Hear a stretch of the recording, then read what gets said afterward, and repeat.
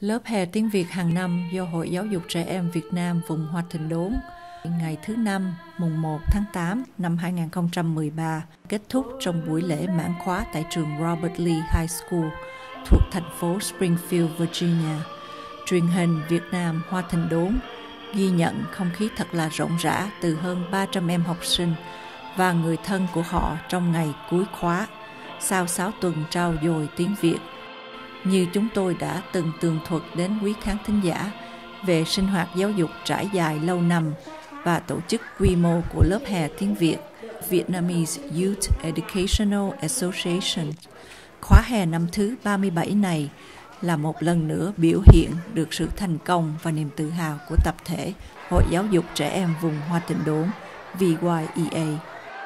Tập thể VYEA ghi nhớ nguồn gốc thành lập trường tiếng Việt từ năm 1977 do công lao của giáo sư và nhà báo chữ bá Anh qua phần phát thưởng cho các học sinh ưu tú. Này đã làm cho tôi rất tự hào về các anh chị thiện nguyện viên. Tôi tin rằng với những cử chỉ đẹp, cao quý và hy sinh này thì chắc chắn tiếng Việt sẽ không bao giờ mất trên đất nước này. Xin cảm ơn sự hy sinh cao quý đó của tất cả các thiện nguyện viên của BYEA. Xin cô chia sẻ yêu này đến tất cả mọi người. Được biết, khóa học hè năm nay có hơn 300 em học sinh theo học đến lớp 3 ngày một tuần, mỗi ngày 2 giờ. Trong số đó có 30 em phụ giáo viên đã từng học qua tất cả 7 cấp lớp, nay đã trở lại giúp các thầy cô điều hành công việc lớp và kèm các em học sinh.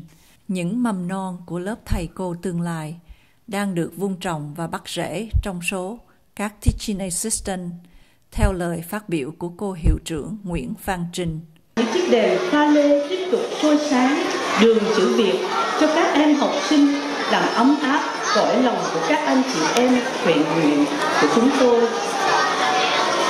Ngoài ra, tôi và các em học sinh được trưởng thành hơn và lớn lên nhiều trong tình thương yêu và chăm sóc chu đáo của các thiên thần của trường. Đó là các anh chị phụ huynh trong các ban đã được thành lập trong 10 năm qua. Ban trật tự, giám thị, ẩm thực, văn nghệ nghệ thuật, vũ kịch. Và sau đó là ban chấm luận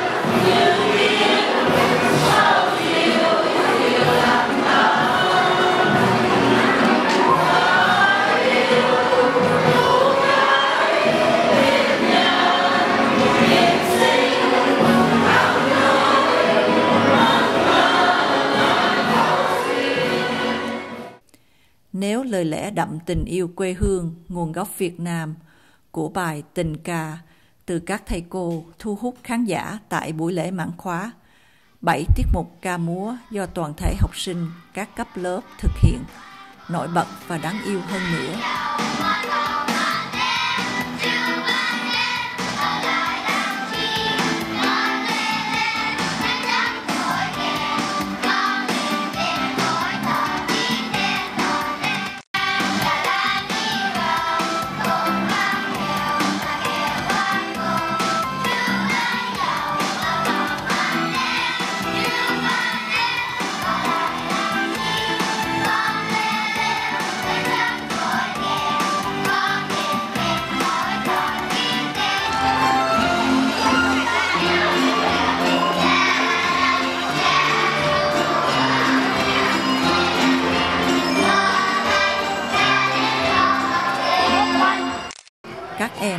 Thuộc hai lớp cấp 1 và 2 trong khoảng tuổi từ 6 đến 11 phát âm chữ Việt rất tài tình.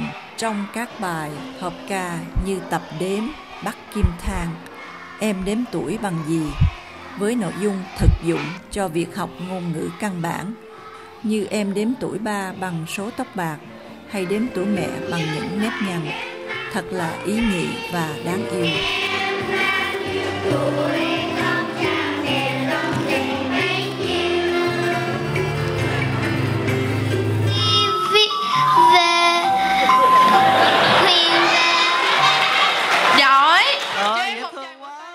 Tường thuật của chúng tôi hè năm nay đặc biệt.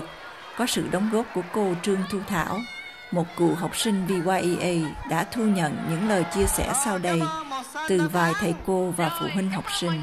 À, con của chúng tôi là làm phụ giáo, à, giúp đỡ cô Trinh, à, là cô hiệu trưởng ở đây à, phụ giúp các cô giáo ở trên này để dạy cho mấy em học tại trường học nó rộng quá.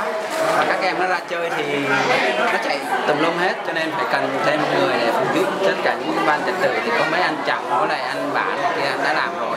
Nhưng mà cần phải những người, thêm những người à, trẻ trẻ. Tại vì ban trật tự phải cần nhiều và cái xếp kỳ quá nhỏ, nó chạy, nhau, nó té, coi chừng cho nó đi đâu. Cho nên là phải có rất nhiều người lớn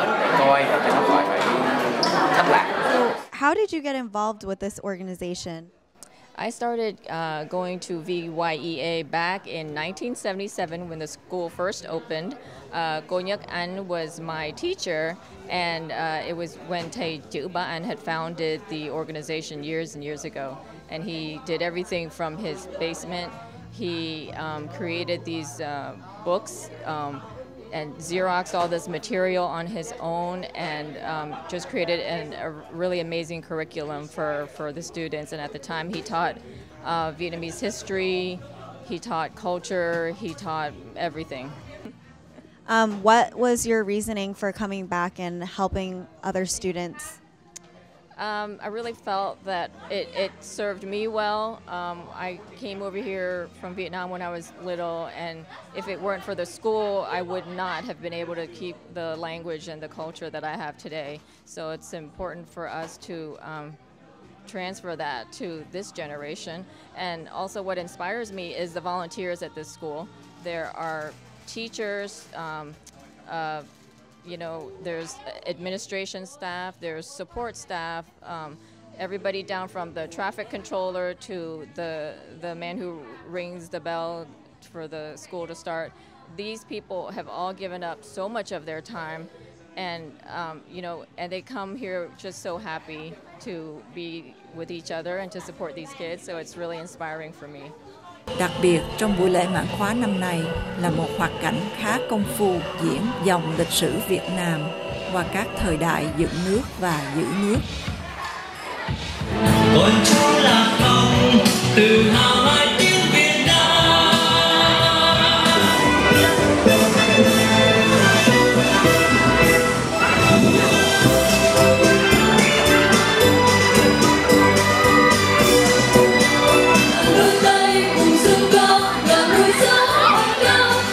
Yeah.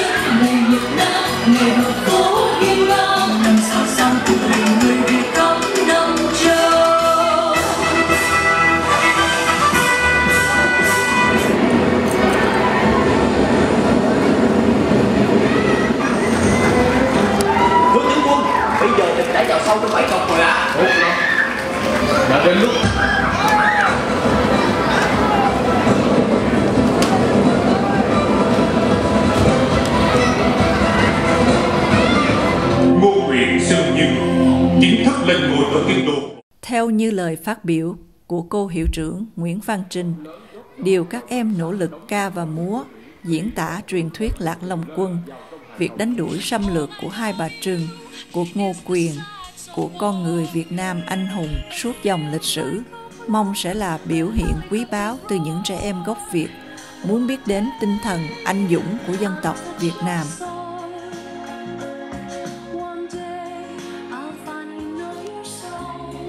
Truyền hình Việt Nam Hoa Thịnh Đốn còn ghi nhận được bao công khó khác nữa từ các người tình nguyện, thầy cô giáo chăm lo cho mọi khía cạnh tổ chức tại buổi lễ mãn khóa này.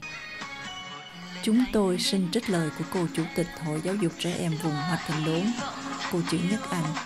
Những anh chị volunteer này là những chiến sĩ vô danh trong chi hướng giúp trẻ em gốc Việt tìm đến tiếng mẹ đẻ và văn hóa Việt Nam.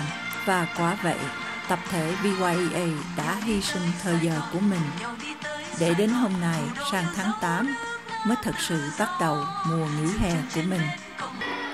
Lê Bích Phượng, tường thuật từ Springfield, Virginia, truyền hình Việt Nam vùng Hoa Thịnh Đốn, xin kính chào.